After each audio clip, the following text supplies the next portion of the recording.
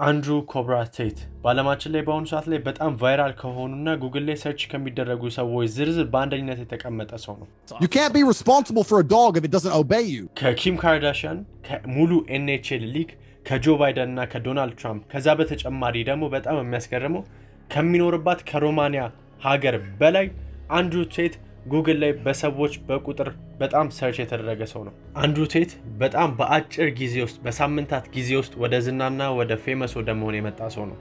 በወራት ጊዜያት ውስጥ ብቻ በኢንስታግራም ላይ ከሁለት ሚሊዮን followers በላይ ሰብስቧል። ከዛ በተጨማሪ ደግሞ በተለያዩ social media ዎች ላይ በጣም viral እየሆነ መጥቷል። በየአመቱ exactly በአመት ውስጥ ባይሆንም በተለያዩ ወራት ጊዜያት ውስጥ በተለያዩ social media ዎች ላይ alpha male ን የሚሉና ስለ red pill የሚያስተምሩ ወንዶች ይመጣሉ። ብዙዎች አንድሩ ቴትን እንደዚህ ነው ብለው ጠብቀውት ነበር። ነገር ግን አንድሩ ኮብራ ቴት ከነዚህ ሁሉ ይለያል። የአንድሩ ቴት የሚለየው ገጸ ባህሪ ወይም ደግሞ character የተጫወተ አይደለም። ይህንን ሁሉ የሚያደርገውም ለ view ም ብሎም አይደለም። የሚኖረውን lifestyle ሲያሳይም fake የሆነ ወይም ደግሞ ለሚዲያ ብሎ የሰራው ሳይሆን የእውነት multi millionaire የሆነ ሰውና ብዙ side hustle ኦችን run የሚያደርግ ሰው ነው። አንድሩ ኮብራ ቴት የእውነትም multi millionaire ነው።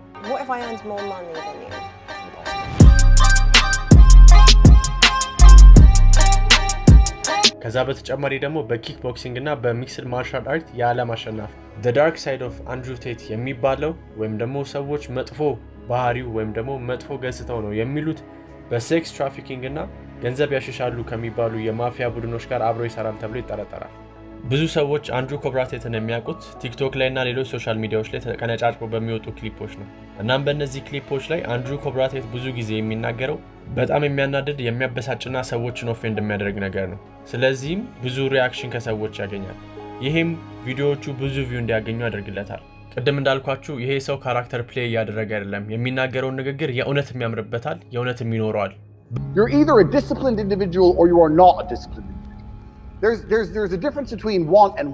ብዙ ጊዜ የሚያወራው ስለ ሴቶችና ስለ ወንዶች ነው። በአጠቃላይ ስለ masculinity ነው የሚያወራው።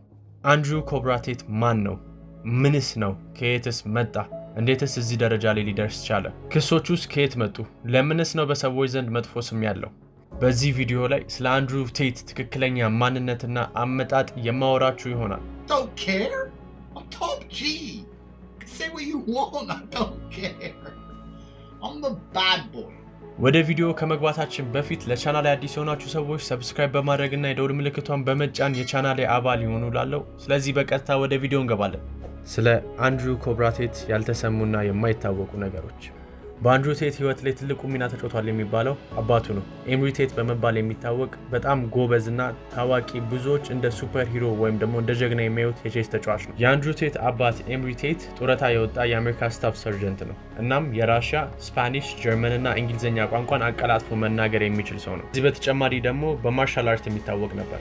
ከነዚህ ሁሉ ደግሞ የሚታወቀው በቼዝ ችሎታው ነበር። እናም በቼዝ international master ላይ በ grand master level በተደጋጋሚ ጊዜ አሸንፏል። grand master ማለት ትልቁ በቼዝ ውድድር ላይ ልትደርሱ የምትችሉበት level ነው። እስከ ዛሬ ድረስ ሰዎች የሚጠይቁት አንድ ጥያቄ ነው፣ ለምን ኤምሪ ቴት officially grand master እንዳልሆነ።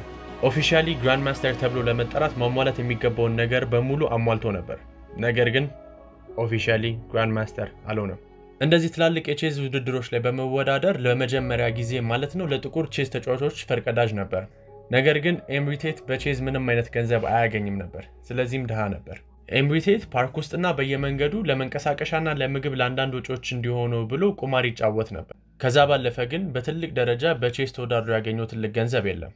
ኤምሪ ቴት ሶስት ልጆች ነበሩት። አንድሩ ቴት፣ ወንድሙ ትሪስተን ቴት እና እህታቸው ሶስቱንም ልጆቹን ሲያሳድጋቸው እንደሱ እንዲያስቡ አድርገው ነበር ያሳደጋቸው።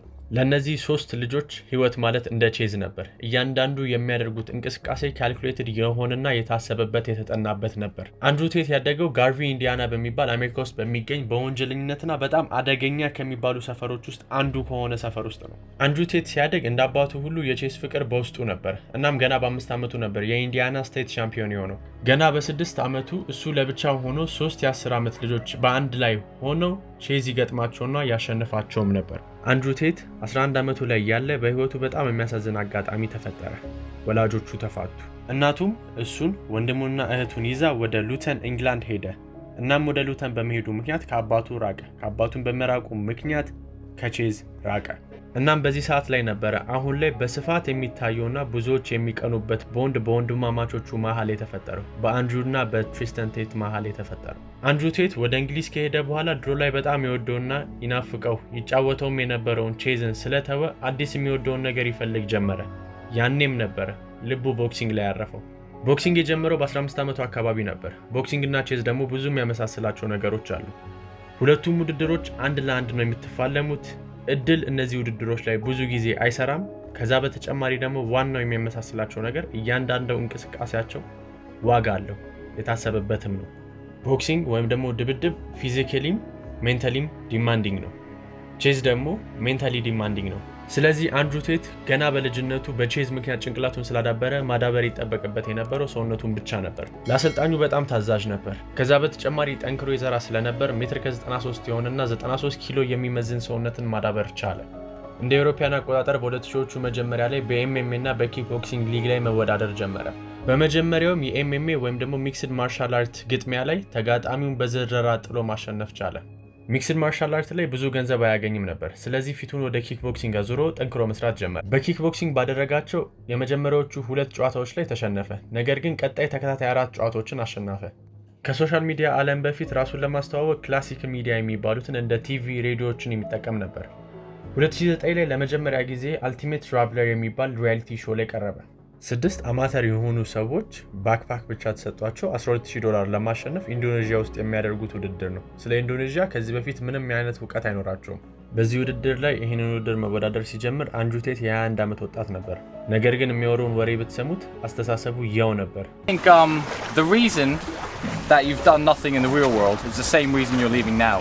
አሁን ያለው አስተሳሰብ የዛኔም ነበረው። የሚለየው ነገር የዛኔ ድሃ ነበር፣ ሀብታም አልነበረም። ወንድሙም ትሪስተን ቴት እንደዚሁ ተመሳሳይ የህይወት ጉዞ ላይ ነበር። በተመሳሳይ ሁኔታ Shipwreck የሚባል የ reality show ላይ ይቀርቡ ነበር። ሁለቱም ተመሳሳይ ጸባይ ነበራቸው። እንደ ጥጋበኛ እና እንደ ጎረምሳ ነገር የሚደነፉ ነበር ነው የሚባለው። አዎ እንደዛ ነገር እና violent ናቸው። እናም ባላቸው በእንደዚህ አይነት ጸባይ ምክንያት እንደዚህ አይነት reality show producer ኦች ሲያዘጋጁ ቀጥታ እነሱን ይፈልጓቸው ነበር። Such a coward. He said it when I was so far, too far away and the engine had just started. What. ከዚህ በመቀጠል አይኤስኬ የሚባል የቀላል ሚዛን የዓለም ሻምፒዮና ውድድር ላይ አሸናፊ የመሆን እድል ገጠመው። ይህን ግጥሚያ በሚወዳደርበት ወቅት ላይ ግን ለመዘጋጀት ሶስት ቀን ብቻ ነበር የተሰጠው። እናም በዛም ምክንያት በዚህ ግጥሚያ ላይ አንድሩ ኮብራቴት ተሸነፈ። ነገር ግን የአንድሩ ቴት ቡድን የግጥሚያውን ቪዲዮ ድጋሚ በማስገባት እና ይግባኝ በማለት ግጥሚያው ድጋሚ እንዲደረግ አደረጉ። እናም በሁለተኛው ግጥሚያ ላይ አንድሩ ቴት በዝረራ አሸነፈ። በዚህም ምክንያት ለመጀመሪያ ጊዜ አንድሩ ኮብራቴት የዓለም ሻምፒዮና መሆን ቻለ። በ27 ዓመቱ ላይ ትልቁን ስኬት ያጣጣመበት እድሜው ነበር። በተለያዩ ውድድሮች ላይ በተለያዩ ኪሎዎች የዓለም ሻምፒዮና ነበር። ኢፊውዥን፣ አይኬኤፍ እና አይኤስኬ የሚባሉ ውድድሮች ላይ የዓለም ሻምፒዮን ነበር። የመደባደብ ፍላጎቱ እየጠፋ መጣ። ነገር ግን ካቆመ ገንዘብ እንደሚያጣ ስለገባው የበለጠ ገንዘብና የተሻለ ገቢ የሚያገኝበትን መንገድ መፈለግ ጀመረ። እናም በ2015 ላይ ሙሉ ለሙሉ ከ boxing ዓለም ወጣ። ከ boxing ከወጣ በኋላም የተሻለ ገንዘብ ሊያገኙበት የሚችሉበትን መንገድ ከወንድሙ ጋር በቁም ነገር ቁጭ ብለው መፈለግ ጀመሩ። research ንም ጭምር መስራት ጀመሩ። አንድ ቀንም ኢንተርኔት ላይ እንደሌላው ጊዜ ሁሉ scroll በሚያደርግበት ሰዓት ላይ ህይወቱን የሚቀይርና አዲስ business idea የሆነለትን ማስታወቂያ አገኘ። እውነተኛ ሴቶችን live በኢንተርኔት ቀጥታ አናግሩ የሚል ማስታወቂያ። ይሄ ማስታወቂያ ብዙዎቻችሁ ኮምፒውተር ላይ እንደሚመጣው scam አልነበረም። እውነተኛ ሴቶችን ነው በ live stream በቀላሉ የምታገኙት። ይህም አጋጣሚ ለእሱ በጣም አሪፍ ቢዝነስ እንደሚሆን አሰበ። ምክንያቱም በጊዜው ስድስት የተለያዩ የዓለማችን ክፍሎች ላይ የሚገኙ girlfriend ኦች ወይም ደግሞ የሴት ጓደኞች ነበሩት። አንድሩ ቴት ደፋር ነው። ሁሉንም ወደ ለንደን ለስራ አጋጣሚ ወይም ደግሞ business opportunity ብሎ ጠራቸው። ወደ አንድ ቦታ ስድስቱንም girlfriend ኦች ሰበሰባቸው። ሁሉም አንድ ቦታ ላይ ሲደርሱ ደነገጡ። ከእነሱም ውስጥ ሁለቱ እንደተካዱና የክህደት ስሜት ስለተሰማቸው ጥለው ወጡ። አራቱ የቢዝነስ ሀሳቡን አዳመጡት። ሁለቱ ተቀበሉት፣ ሁለቱ ደግሞ ሳይቀበሉት እነሱም ጥለው ወጡ። እማወራላችሁ ስለ girlfriend ኦቹ የፍቅር ጓደኞቹ። እናም አራቱ ከወጡ በኋላ ሁለቱ girlfriend ኦቹና ሁለቱ ወንድማማቾች አንድሩና ትሪስተን ቴት ቀሩ ማለት ነው። ከተስማሙ በኋላ በቀጥታ ወደ ስራቸው ገቡ። ሴቶቹ በካሜራ በቪዲዮ ሰዎቹን ያናግራሉ። ያልተሰካ ኮምፒውተር ይዘውም በእጃቸው text የሚጽፉ ይመስላሉ። አንድሩ ቴት ደግሞ ከካሜራ ጀርባ ይቀመጥና ሰዎቹን በ text ያናግራቸዋል። ይህንን ስራ በጀመሩበት ሰሞን ላይ በቀን እስከ 3000 ዶላር ይሰራ ነበር። እናም ይህንን ቢዝነስ ለማስፋፋት በማሰብ የሴቶቹን ቁጥር ለመጨመር ወሰነ። የራሳቸውን ነገር ማቋቋም የማይችሉ በራሳቸው እንደዚህ አይነት ስራ መስራት የማይችሉና የማይፈልጉ ሴቶችን እየመረጠ ወደዚህ ቢዝነስ ጨመራቸው። ከራሱ አንደበት ስሙት። አንድሩ ቴት cam girl ማለት porn star ሳይሆን more like therapist ወይም ደግሞ እንደ አማካሪ ይለናል። cam girl ኧም ከመሸጥ ይልቅ ሰዎችን በመቅረብና እንዲወዷት በማድረግ ነው ስራዋን የምትሰራው ገንዘብን የምታገኘው ይላል። Cam girl is, is much more a therapist than she is a porn star. Like she can make so much money from showing her tits, whatever, but she makes the big money from making these guys like her. ቢዝነሱ በጣም እየሰፋና እየተለቀ በመጣ ቁጥር በአራት የተለያዩ ቦታዎች ላይ ሴቶችን ያሰራ ነበር። ከዚህ በተጨማሪ ደግሞ ቢዝነሱ በጣም በተስፋፋበት ወቅት ላይ በአንድ ጊዜ ብቻ ከ75 በላይ ሴቶችን ቀጥሮ ያሰራ ነበር። እንደሱ አስተሳሰብና አባባል ከሆነ ይህንን ማድረጉ በጣም ትልቅ ስህተት ነበር። ስለዚህም አንድሩ ቴት መልሶ የሴቶቹን ቁጥር ወደ ስምንት ቀነሳቸው። አራቱ የእሱ girlfriend ኦች ነበሩ፣ የተቀሩት አራቱ ደግሞ የወንድሙ የትሪስተን girlfriend ኦች ነበሩ። በዚህን ወቅት ነበረ ቢዝነሱ በጣም በትልቁ ገንዘብ ያመጣና ገቢ ያገኘ የነበረው። በዚህም ቢዝነሱ ብዙም ሳይሰፋ ነገር ግን ትልቁን ገቢ ያስገባበት በነበረበት ወቅት ላይ በወር እስከ 400 ሺህ የአሜሪካ ዶላር ያስገባ ነበር። ሰዎች ይህንን ስትሰሙ እነዚህን ሴቶች አስገድዷቸው ነው የሚያሰራቸው ወይም ደግሞ ግፊት ያደርገባቸዋል ልትሉ ትችላላችሁ። እንደዚህ የምትሉ ብትኖሩ አልፈርድባችሁ። ምክንያቱም አንድሩ ቴት ራሱ የሚጠቀማቸው ቃላቶች እንደዚህ እንድትሉ ያስገድዳቸዋል። አንድሩ ቴት የሚጠቀማቸው ቃላቶች በተለምዶ ጠንከር ያሉና ጠጠር ያሉ ቃላቶች ናቸው። ለምሳሌ ይህንን ክሊፕ ተመልከቱት። By extension, if I have responsibility over her, then I must have a degree of authority. እናም ይሄ ጠጠር ያሉና ጠንካራ ቃላቶችን አመራረጡ dictator የሆነና autocratic የሆነ ያስመስልበታል። በዚህ ጉዳይ ላይ አንዳንድ ሰዎች ለአንድሩ ቴት ወግነው ይከራከሩለታል። ቴት የሚመጣለትን ነገር ያለ filter የሚያወራና ቀጥታ ተናጋሪ ነው ነው የሚሉት። ሰሞኑን የተዘጋው Hustlers University website ኡ ላይ ራሱ ገብታችሁ የተጻፈውን ነገር ብታነቡት በጣም የሚያስገርም ነገር ነው። ከ75 ሴቶች በላይ ለእኔ ሰርተዋል። ከነዚህ ከ75 ሴቶች ውስጥ ደግሞ 99 percent የሚሆኑት ለመጀመሪያ ጊዜ ነው በ adult industry ውስጥ ሲሰሩ። ከዚህ በፊት ምንም አይነት የ porn site ላይ ሆነ የትኛውም አይነት adult industry ውስጥ አልሰሩም። እንደዚህ አይነት ኢንዱስትሪ ውስጥ እንዲሰሩና እንዲገቡ ያደረግኳቸው እኔ ነኝ።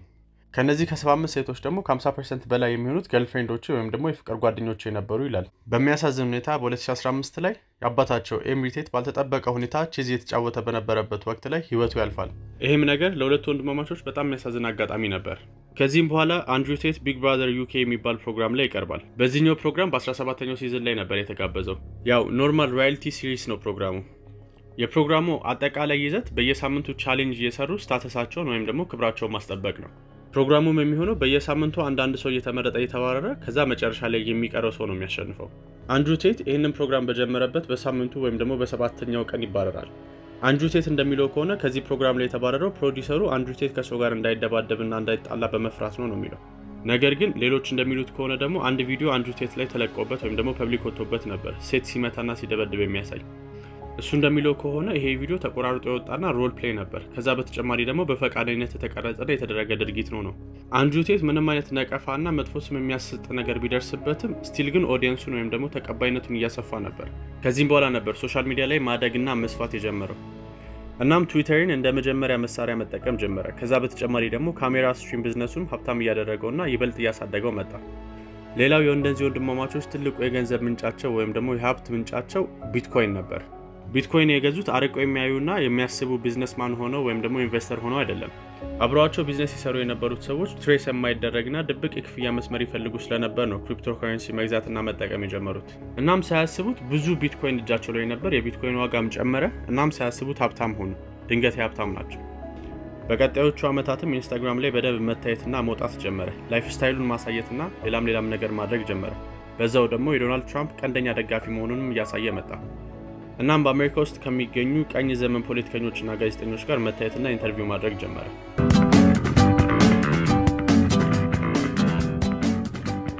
የአንድሪው ኮብራ የመጀመሪያው የህይወት ክፍል ይህንን ይመስል ነበር።